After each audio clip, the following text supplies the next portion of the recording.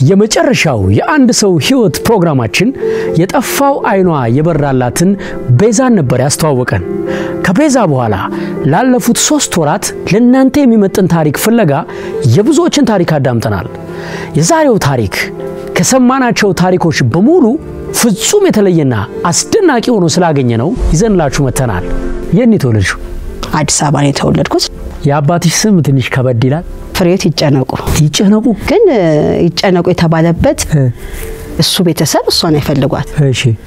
ስለዚህ እሱ ሲረገዝ ጊዜ በቃ ረገዝኩት። ይጨነቁ እንግዲህ ምን አመጣለሁ የሚገርምህ ደግሞ እህትየውም ይርገዱ ናት። ከዛን ሁለተኛ ሲ ደግሞ ይታክቱ እንግዲህ ጠለችና ደግሞ ይርገዱ እንግዲህ ይውረግረጉ እንግዲህ ምን ማድረግ ይቻላል አይነት ሶስተኛ ልጅ ማለት ነው። እና ይታክቱ ይርገዱ ይጨነቁ ብለው ፈታ ያለ ጊዜ ነው። የሚገርም ስም ነው። ዋው አምስተኛ ልጅ ነኝ። እንግዲህ አራቱ እንዲያድጉ አንድ ሰው መስዋዕት መሆን ስላለበት ለምን ህግ ነው። የምን ህግ? እምነት የሚባል ነገር አለ። በዛ ሰዓት እነሱ የሚያምኑበት ነገር ነበር። አዎ በዛ ህግ መሰረት አዎ። በዛ ህግ መሰረት ደግሞ መስዋዕት ማለት በህይወት ነው። ሁለት አይነት መስዋዕት አለ። ማሳደግ አለ፣ እንዲያገለግል ማሳደግ አለ፣ ወይም ደግሞ መስዋዕት ይቀርባል። ክፍለ ሀገር ነው፣ የእናቴ ቤተሰብ ነው እና እዛ አካባቢ ባለው እምነት ታዲያ የመጀመሪያው ነው በዛ እምነት መሰረት ወይስ መጨረሻ ላይ ተወለደ? መጨረሻ ላይ ነገር ግን እሷ ደግሞ የመረጠችው ምርጫ አለ።? እሷ ራሷን መስዋዕት አድርጋ እኔን ደግሞ በህይወት ማትረፍ ይጠበቅባት ነበረ። ነገርየው እንዴት ነው? ከተወለድ ከተወሰነ ጊዜ በኋላ ወይም ደግሞ ክርስትና ጋር በተያያዘ አለ አይደል? ወንድ ልጅ ሲወለድ አለ፣ ሴት ስትወለድ በሰማንያ? የሚባል አለ። በሰማንያኛው ቀን ግድ ነው። ወስዶ ለእድሜ ልክ እንዲያገለግል መስጠት ወይም መስዋዕት ማለት አዎ ለምሳሌ እሷ ራሷን ባትፈቅድ ኑሮ አሁን ያየሃትን ፍሬዎት አታገኝም ነበር ማለት ነው። እያልሽኝ ያለሽው በእኔ ፋንታ እናቴ መስዋዕት ሆናለች ነው? አዎ ምን ማለት ነው? ፍሬዎት የእሷን ደብዳቤ ካነበብኩ በኋላ ነው ፍሬዎት የሆንኩት እንጂ የእሱ ነሽ ነው ስሜ። የእሱ ነሽ ማለት ያ መስዋዕት የሚደረግለት አካል የእሱ የእሱ ነሽ። my goodness በስመ አብ ወወልድ ወመንፈስ ቅዱስ ያለው ልብ አላልኩትም ነበር። ቆይ ይኸውልሽ አሁን ትስቂያለሽ። አልፎ ያልገባኝ ነገር እሷ ያላት እምነት ልጇን ወስዳ እንድትሰጥ ያስገድዳት ነበር። so ምን ወሰነች? የወሰነችው የመጀመሪያው ውሳኔ ለሚካኤል መስጠት ነበር። ምን ምን ለሚካኤል መስጠት ለቅዱስ ሚካኤል አዎ አዲሱ? ሚካኤል የሚባል አለ አካባቢያችን ላይ እዛው ቤተ መቅደሱ በሩ አለ አይደለ? ቤተ መቅደሱ ትክክል። ስለዚህ ወስዳ እዛ ማስቀመጥ ነበረባት። በቃ አስቀምጠውሽ ሄዱ። አይ አስቀመጠ የሰጠችው አንተ ታደግልኝ አንተ አሳድግልኝ ብላ ሄደች። ሐሙስ ልትሞት እሷ ሮብ ሰጥታኛለች ማለት ነው። ቆይ ቆይ ቆይ ቆይ hold on hold on hold on እንጂ በአንድ ሲኒ ቡና ነው እናቴን ያው መስዋዕት የሆነችው ማለት ነው። እሷ ከሞተች በኋላ እኔ ወዴት ሄድኩ? ክፍለ ሀገር ነው። ሶስት ጎጆ ተሰራልኝ። ይገርማል። በአንድ የባለ ሀብቶ እንኳን እሷ መስዋዕት ሆና እዛ ውስጥ የተለያየ አምልኮ አለ። የተለያየ አምልኮ መስዋዕት ማለት የተረዳሁት ነገር ምንድን ነው? ይመጣሉ፣ ህጻናት ይመጣሉ። በነገራችን ላይ ስላልቅ ይመጣሉ፣ ወጣት ይመጣሉ። ቀይ ፍም የመሰለ ምጣድ አለ። እዛ ጋር ነው መስዋዕት የሚሆኑት ማለት ነው። እዛ የተወሰነ ዓመታት ኑር ያለው የማስታውሰው ለምሳሌ ሐሙስ ቀን የሆነ አንዱ ጎጆ ከሆንኩኝ ማክሰኞው ቀን ሌላ ጎጆ ነው መሆነው ማለት ነው። የተለያየ ጨሌ ይደረግልሃል፣ የተለያየ አልባሳት ትለብሳለህ። ያው እንደ ንግስት እንደ ንጉስ በለው አሁን ያልተቻለው ነገር ምንድን ነው?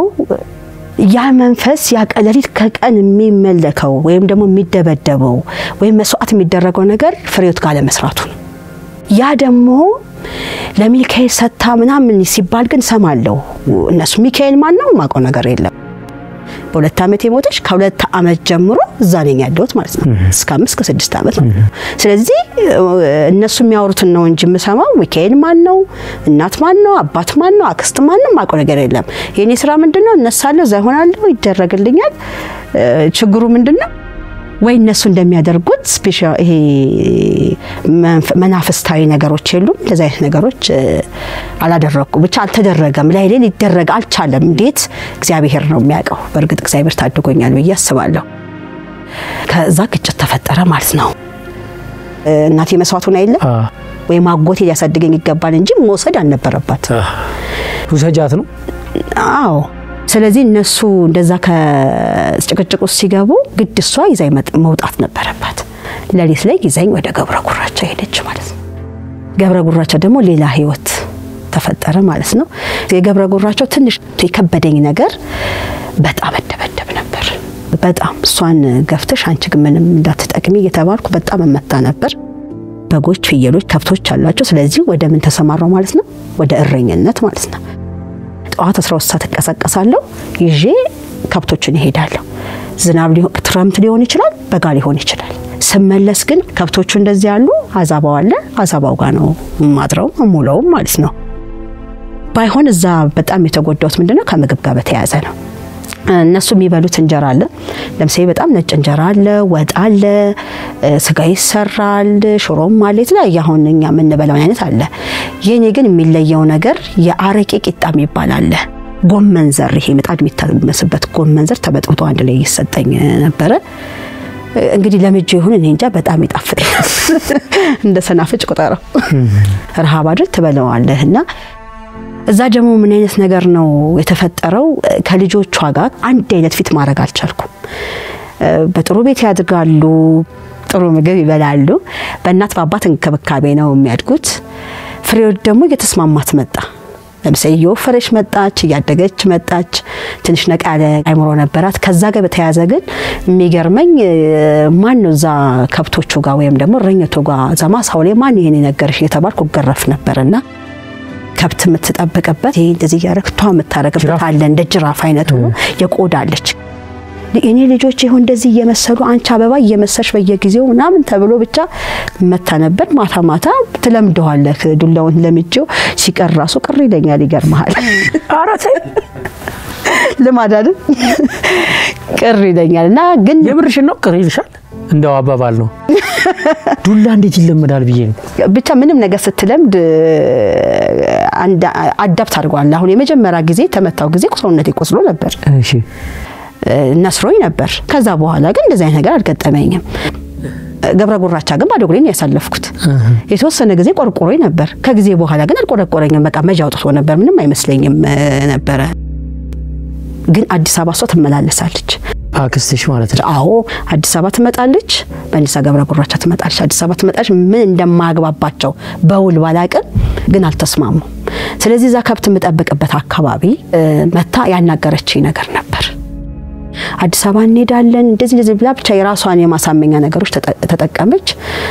እኔም ያው እሷን ከመስማት ሌላ ምንም ምርጫ የለኝም። ለምሳሌ ውጭ የማመልጥበት ነገር የለኝም።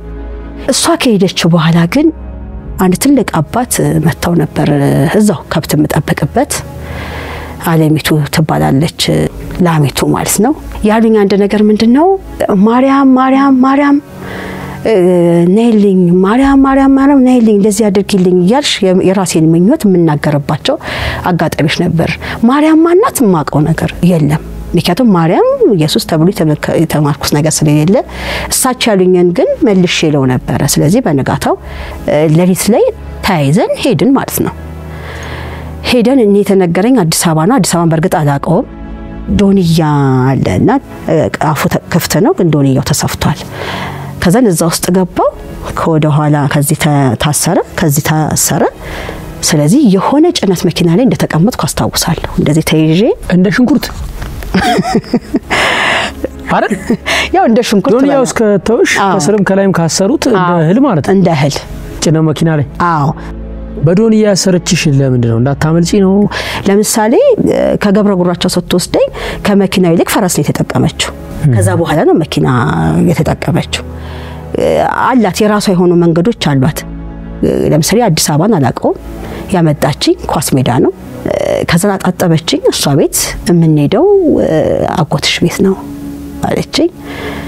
የማረሳው ነገር በጣም ቁጭ አርጋ መክራኛለች። ስለዚህ አጎቴ ጋር ይዛ ሄዳ አስረከበች ማለት ነው። እንጀራ እንዴት እንደሚጋገር ምናምን ብቻ ያው ባለቤቱ አስረዳችኝ። እሱን ስራዬን ቀጠልኩ ማለት ነው። አጎቴ ጋር ላመሰግነው የምችልበት አንዱ መንገድ ትምህርት ምን እንደሆነ አሳይቶኛል። ትልቅ ነኝ ብያለሁ። ወደ 10 11 ዓመት ይሆነኛል። ስለዚህ የማታ ትምህርት የመግባት አጋጣሚ አግኝቻለሁ። ምግብ አቀራርቤ ምናምን መጠበቅ የኔ ኃላፊነት ነው። ልጁንም አዝዬ ይሁን አስተኝቼ ይሁን አቅፌም ይሁን ብቻ ምግብ መስተካከል አለበት። አብልቶ አጠጥቶ መልሶ እቃውን አጣጥቦ 11 ሰዓት ላይ ወደ ትምህርት ቤት እሱ ነው ያስገባኝ። ቆይ ወደ ኋላ ልመልስሽና ገጠር እያለሽ በባዶ እግሬን የሚሄደው ብለሽኛል። አዛባ ያለበትን የምታድሪው ልብስም ብዙ ያለሽ አይመስለኝም። so አሁንስ አለባበስ ላይ የኑሮ ሁኔታሽ ላይ ለውጥ መጣ? እግሬ ባዶ እግሬን የሄድኩባቸው ጊዜያት ይበዙ የለ አመዱ ግን የጎዳኝ ይመስለኛል። ምክንያቱም ይሄ ተረከዜ ላይ 50 ሳንቲም የምታክል ነገር አምጥቶ አስገብቶ አሳይቶኛል። ስንጥቁ ላይ አዎ ስንጥቅጥቅ ያለ ነው። በነገራችን ላይ አመዱ ጎርቶኛል። ምል ሙጀሌ ያለ እሺ። የሚበላ አከው አከው አከው የምታከው ሙጀሌ አለ። ያ ግን የፈጠረው አመዱ ነው። ስለዚህ በወቅቱ በጣም የምታምር ቆንጅት የምትባል ጫማ አለች። እዚች ጋር ሪቫል ያላት በጣም የምታምር ጫማ አለች። ልነግርህ አልችልም። እሷን ያደረግኩ ቀን አመጣሽ? teacher ደረጀ ጋ ነው የተደረገልኝ። በራሱ ብር ነው ጫማውን የገዛልሽ? እጥፍ ያደረግልኝ ነበር። ከብር በላይ ከአንደበቱ የሚወጣው ቃላት የሚንከባከብበት መንገድ። ለምሳሌ እኔ እነሱ አብልቼ አጠጥቼ አይደል የምወጣው። ስለዚህ አርፍደ ነው የምትገባው class። ማን አስተማሪ ነው በሩን ከፍቶ በፈገግታ የሚቀበለው? ስለዚህ በዚሁ አጋጣሚ አመሰግነዋለሁ teacher ደረጀን። እዛ ውስጥ ግን ችግሮች የሉም አይደለም። አጎትሽ ቤት ነው? አዎ እሺ ልጁ ያጥፋም ብቻ በሆነ መንገድም ይናደድ እጠራለሁ። የሱ ነሽ? አቤት ነይ አሽች እያደረኩ ማለት ይመታኝ ነበር። ምኑ ነው አሽ የሚልሽ? እንትኑ ቦክሱን? የማይረሱ ነገሮች አሉ። እንዲህ አንዳንዴ ትረሳዋለህ። ይሄ ተደብድበ ተደብድበ ቆይተህ ደግሞ ስትደበደብ ሌላ ህመም ነው ሌላ ህመም ነው። ለምሳሌ በጥፊ ተመትቼ አውቃለሁ። ልትይዤ በቴስታ ብለውኝ ያውቃሉ ልጆች። ግን አዲስ አበባ ስመጣ አይደል? ግን ከጊዜ በኋላ የዚ አይነት ባህሪ መጥቶ ነበር። ምን እንደሆነ ግን አይገባኝም። በእርግጥ አፍንጫሽ አይደማም ምናምን በቦክስ እንዴ ትመጪ? ደማል እንጂ እንዴ ተው እንጂ በቦክስ ተብለክ እንዴት ብለህ ነው? በጣም ከባድ ነው በእውነት የ11 ዓመት ልጅ ሆኖ በቦክስ መመታት በጣም አሰቃቂ ነው። ከባድ ነው።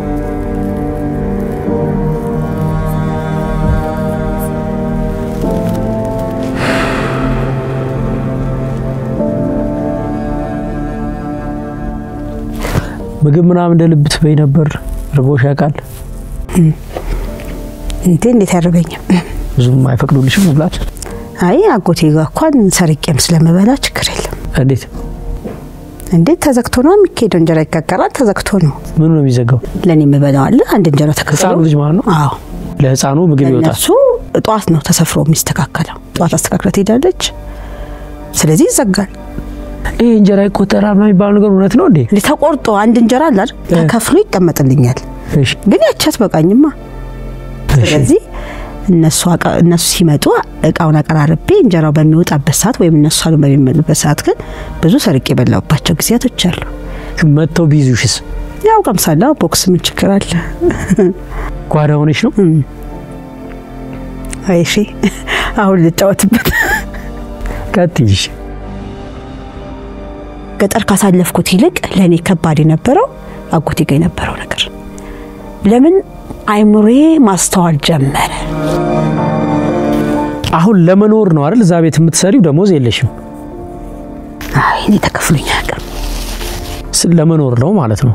እኔ የመጀመሪያ ጊዜ class ስገባ ስቀመጥ ተነስተው ተማሪዎቹ ሌላ ቦታ ነበር የሚቀመጡት፣ ምክንያቱም ጠረኔ ጤናማ ስላልሆነ። ሁለተኛ እንደነሱ አይደለም የምትለብሰው በአንድ ልብስ ነው ረጅም ጊዜ ልዩነት በጣም ሰፊ ልዩነት አለው። ሰፊ ልዩነት ለምሳሌ እነሱ የሰው ቤት ሰራተኝነትም ቢሆኑ የሚያወሩት ዘይቤ ያለው እኔም ማውራ የለኝም። እኔም ውለው ከማን ጋር ነው? ከህፃኑ ጋር እየተማርሽ ግን ይደብርሽ ነበር ማለት ነው። እንዴ ያው እነሱ ሲነግሩ ታነጻጽራለህ። ይህ ምንድን ነው? አይምሮክ ይነቃል፣ አይምሮክ ይበስላል፣ ታስተውላለህ። ለምሳሌ እነሱ በተለያየ መንገድ ጸጉራቸውን አሰማምረው ነው የመጡት። እኔ ግን እንደተያያዘ በሻሽ እንደታሰረ እዛ አይሰሩሽም? ትምህርት ቤት አትሰራሩም እርስ በርስ ጸጉር? በ11 ሰዓት ሄጄ ከ12 ሰዓት እስከ አንድ ሰዓት ተምረክ ምኑን መሰራራት ይመጣል። ባይሆን ምኑ ያስደስተኛል? የምንጫወተው የምንስቃቸው ነገሮች ከእንደገና ከ class ወጥተን እዛ ጨለማ ጋር ግቢው ጋር ቆመን እነሱ የሚያደርጉት ለእኔ አዲስ ትምህርት ለእኔ በነገራችን ላይ ቀለም ትምህርት ብቻ አይደለም እዛ ያገኘው ልጁ የሚገዛላቸው ልብሶች አሉ። እንደሱ አይነት ልብሶች እንዲገዙልኝ ፈልጋለሁ እኔ ለህፃኑ እንደሚገዛው አዎ እኔም ፈልጋለሁ። ብቻ እዛ ቤት ባልና ሚስት በአንድ ጀምር ምን እንደተከሰተ ባላቅም ተጋጩ። ብቻ እነሱ ተጋጩ። ያቺ የተጋጩ ጊዜ ግን አባቴ እናቴ ከሞተች በኋላ ያገባት ሴት አለች፣ ሁለተኛ እናታችን ማለት ነው። በዛ ወቅት እሷ የመጣች ጊዜ የሚገርም በጣም የተለያየ ድብልቅልቅ ያለ ስሜት ተሰምቶኝ ነበር። ማነች የመጣችው? ሁለተኛ እናታችን ከምሽቱ አራት ሰዓት አካባቢ ነው። በደንብ ይሄን አስታውሳለሁ። ታቅፈ ማታቅ ተነካክተ ማታቅ ሰው አናኛቱ አናኛቱ እኔን እንደማለት መስለኝ ኦሮምኛ ነው። አናኛቱ አናኛቱ እያለች አቀፈችኝ። በጣም ከፋኝ እሷ ስታቅፈኝ። ምክንያቱም እዛኝ የገባቸው የእሱ ቤት እዚህ ነው። እዛው የምመላለስበት ቀን ከሌሊት የምመላለስበት ቤት ነው ይዛኝ የገባቸው። መንገዱ ቅርብ የሆነ ቤት ማለት ነው። አረ መንገድም አትለውም እንደዚህ ነው የእሱ ቤት ይሄ ማለት ነው። በቃ እንዲህና እንዲህ ከሆነ ስቃይን ሳያዩት ቀርቶ አይደለም አይደል? ስለዚህ እዛ ስትወስደኝ በጣም ከፍቶኛል። ይሄ ትልቅ መሆነ እኮ ይመጣባል አይምሮ። ለምን እንዲህ አልጠየቁም? ለምን እንደዚህ አልሆነም? ለምን እንዲህ አላደረጉም ብለህ የሚሰማ ስሜቶች አሉ እንደ ሰውኛ ስታስባቸው። ብቻ ያው ክብሩ ይስፋ ለመድኃኒዓለም ዋናው ጤነኛ መሆን ነው እና ጠየኳት። እሷን እባክሽ ማንኝ እኔ ምንድነሽ አንቺ ናም ብዬ ጠየኳት። ነገረች አባት እንዳለኝ ሰው መቼም አባት እንዳለው ወንድሞች እንዳሉት እህት እንዳለው ናም ሲነገር በጣም ይደሰታል። እኔ ግን በጣም ከፋኝ። እናቴ እንደሆነች በጨረሽ እናቴ አይደለሽም አልኳት። ምክንያቱም እናት ኖሮክ እንደዛ አትሆንም። ቀላል አይደለም አጎቴ ጋር ያሳለፍኩት በጣም ከባድ ስሜቶችም የተዘበራረቁበት ስለነበር፣ ስለዚህ ወዲያውኑ ነበር ይዘሽኝ ሂጂ አልኳት። ማደር አልፈለግኩም። ወዴት? አባቴ ጋር ነው። እሺ ወንድም አለሽ እህት አለሽ አባት ስለተባል ቀጥታ በዛው ምሽት በዛው ጨለማ አብረን ሄድን ማለት በምን በእግር መኪና የለም። ከሸጎሌ አበበ ቢቂላ ወይም ደግሞ ኳስ ሜዳ ማለት ነው። የኔ ጉዞ በጨለማ ነው። ከጨረቃዋና ከዋክብቱ ጋር ነው። በዛን ጊዜ በጨለማ ነው የሄድ ነው እና አሁን ድረስ ጨረቃዋን እወዳታለሁ፣ ከዋክብቶቹንም እወዳለሁ። ምክንያቱም በቃ የልጅነት ጓደኞቼ በላቸው የሚሰማህን ስሜት ቀና ስትል እነሱን ነው የምታገኘው። ሄድን። በጣም የሚገርምክ ስገባ እንዲህ ተደርድረው ነው የተኙት። ተደርድረው ተኝተዋል። አባቴ ግን ብድግ ብሎ ጓዳ ገባ። በጣም ከምንጸጸትባቸው ነገሮች እሱ እዛ ቤት ስገባ ሰላም ደፍርሶ ስለነበር ብቻ ነው። ምክንያቱም ሰላማዊ ሕይወት ነው የሚኖሩት። ሁለተኛ እናቴና አባቴ የእሷም ልጆች ሶስት ልጆች አሏት። የኔ ወንድምና እህት አሉ። ስለዚህ አንድ እህት አለች፣ ሶስት ወንዶች አሉ ማለት ነው። እሱ ወደ ጓዳ ገባ። ያው እነሱን አገኘኋቸው። አላቀፉኝምም፣ ሰላም አላሉኝምም፣ ምንም አላሉኝም። አንደኛ ጨለማም ስለሆነ ይሆን ብቻ አላቅም። ግን በንጋታውም ሰላም አልተባባልንም። ወንድሜ ነሽ፣ እህቴ ነሽ፣ አባትሽ ነኝ የሚባል ነገር የለም። ግን ከባድ ጭቅጭቅ ግን ማታውኑ ተፈጥሮ ነበር። ለምን ይዘሻት መጣሽ? ለምን እሷ እኮ እዚህ አይገባትም። በቃ አንድ ጊዜ መስዋዕት አድርጌያለሁ እያለ ብቻ ያስረዳታል። የጨቃጨቁ ነበር። በጣም የሚገርም እንጨት ወንበር ነበረች እና እግሬንም ሁሉ ነገሬንም ሰቅዬ የተቀመጥኩት። ምክንያቱም እነሱም ሊቀርቡኝ አልቻሉም። እኔም ፈራዋቸው። ከዛ ለት እኔ ከገባሁበት ጀምሮ ግን የእናቴ ህይወት ግን ቁስውስ ብሏል። የሁለተኛ እናቴ ማለት ነው። ሰላም የለም። ቀን ከሌሊት ጭቅጭቅ ነው። ይሰዳደባሉ። ቃልስቶ ይወረውራል እሷ ላይ ልጆቹን ይመታል። እሷ ግን ትልቅ ነገር የሰጠች ነገር ምን መሰልክ? ከመጽሐፍ ቅዱስ ጋር በተያያዘ በደንብ እሷ አስረዳች። በጣም መጥፎ ነገር እንደሆነ መስዋዕት ማለት ምን ማለት እንደሆነ፣ ሰው መግደል በጣም ኃጢአት እንደሆነ፣ መስረቅ፣ መዋሸት፣ ማማት ኃጢአት እንደሆነ፣ ሰው ምንም ነገር ቢበድለኝ ስበቀል ከባድ ኃጢአት እንደሆነ በደንብ አስረድታኝ ነበር። በቀን በቀን መጽሐፍ ቅዱስ ታስጠናኝ ነበር። ግን ሰላም የለም። ስለዚህ ውሳኔ ወሰነች እሷ ቤቱን ለቆ መውጣት።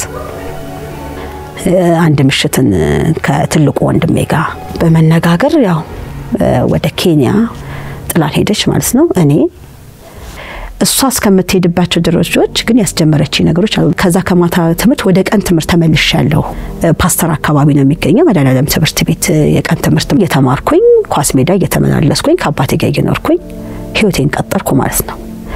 ግን በቀን በቀን እሱ ሲመጣ የሚሳደባቸው ስድቦች አሉ። ለምሳሌ ገፊ ገፊ እንደሆነች ታውቂያለሽ ብሎ ነው የሚጠይቅ። ገፊ ነሽ አንቺ እኛ እኮ አንፈልግሽ እያለ ከእናቴ ጋር የተያያዘው ነገሮች ይሳደባል።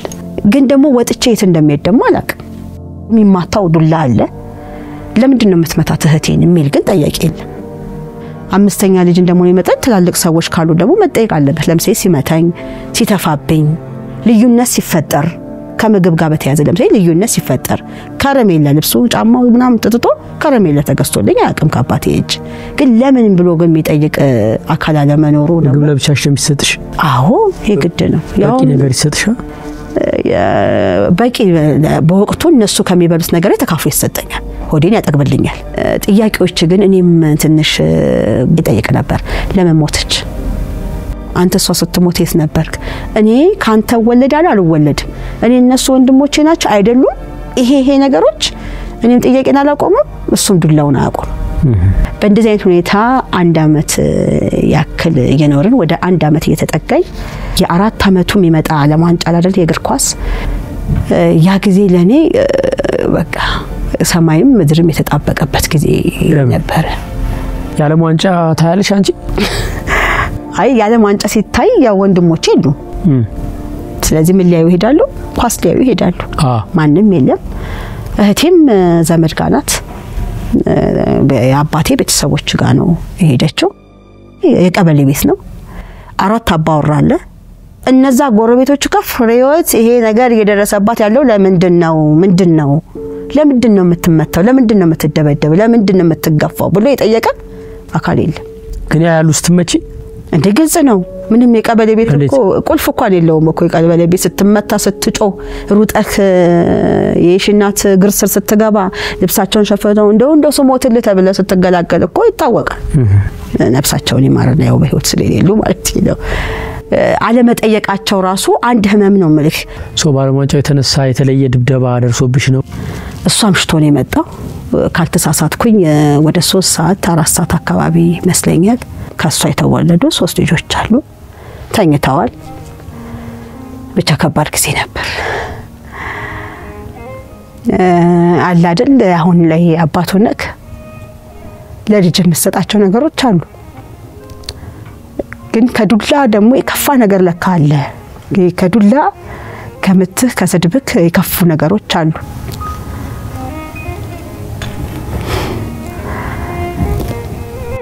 ያው እሱ አንድ አባት ብቻ ልጁ ላይ ማድረግ የሌለበትን ነገሮች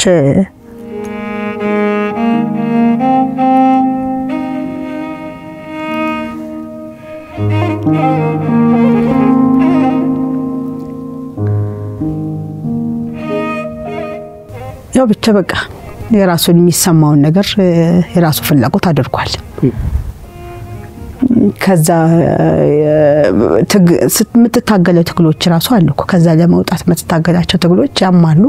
እሱ የሚፈልጋቸውን ነገሮች ካረጎ በኋላ ከአስወጣኝ በሩን ከፍቶ አስወጥቶኛል። ቆርቆሮን እንደምታውቀው ቀቀቀቀቀ ብሎ ተከፍቷል። በዛ ሰዓት የተነሳው ጎረቤቶች ነበሩ። ምንድን የተፈጠረው ማን ነው ምንድን ነው ብለው የጠየቁት ነገር የለም። በወቅቱ አባቴ በጣም ይፈራል በሰፈሩ። በሩን ከፍቶ ካስወጣኝ በኋላ የሚገርምህ መጀመሪያ የተመታው ዱላ አለ። በዛች ባጭሯ እንጨት የምንቀረቅርባት ናት በሯን። ከእንደገና ውጭ ብሎ ከገፈተረኝ በኋላ እሱ ተመልሶ ነበር። በጣም የሚገርምህ የተቦካ ሊጥ አለ፣ አብሲት የተጣለ ሌሊት የምጋግረው ማለት ነው። እሱ ተደፍቷል፣ ቤቱን አዝረክርኮታል። ከዛን እየጮኸ ነው የወጣው። ወዲያው የመጣልኝ እሱ ተሰሚነት አለው በጣም በሰፈሩ በጣም ነው በቃ ወጣት ቤር በደበደውና ያደረጋቸው ነገሮች ነበሩ። ስለዚህ ማምለጥ ነበረብኝ። መሮጥ ቢያቅተኝም እዛች መንታ ሱቅ መታጠፊያ እስከምደርስ ሁለቴ እንደወደቅኩ አስታውሳለሁ። ግን already እየወደክ እንትን ስትል እሱ እየጮኸ እዛ አካባቢ round የሚጠብቁ አሉ። እነሱ ከዛ already እየመጡ ነው። እሱ ከዚህ እየጮኸ ነው። እንዲህ አድርጋኝ እንትን ብሎ ሌባ ምናምን እያለ ነው። ስለዚህ በዛች አጋጣሚ ምን ልሆን እንደምችል እኔ አስቤዋለሁ። ሊቀጠቅጡኝ ይችላሉ። ስለዚህ ያለኝ አጋጣሚ እዛች መንታ ሱጋ ስትታጠፍ አራት ማዕዘን የሆነች ሽንትም ካካ የምትደፋባት ቱቦ ነበረች እና ያው ቀን ቀን አውቃታለሁ። ትምህርት ቤትም ሲሄድም ስመጣ ሽንኩርት፣ ቲማቲምንም ስገዛ ገበያ ሲሄድ አውቃታለሁ ያችን ብቻ ቱቦ። ስለዚህ የመጣልኝ ነገር እዛ ውስጥ መግባት ነው። በጣም ነበር የሚያቃጥለው። የሚገርም ሽንት ይደፋበታል፣ ቆሻሻ ውሃ ይደፋበታል፣ ካካ ይደፋበታል። ያው ትንሽ ሰፈሩ በፖፖን በምንም ተጠቅመው የሚደፉበት አካባቢ ነበርና አቃጥሎኛል።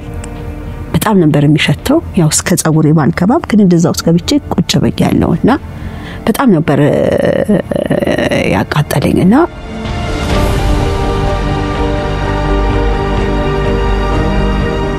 በወጌሻ ዩቲዩብ ለመማር ወይም አዲሱን የኮሜዲያን እሸቱን ማን እንዳገር የስታንዳፕ ኮሜዲ ሾው በአካል ለማየት ከዚህ ቪዲዮ ስር ያለው ሊንክ በመጫን አሁኑኑ ቦታ የያዙ ጠቁመዋል።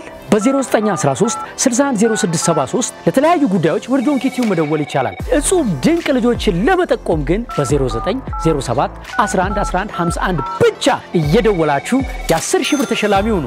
ጠቁሙ።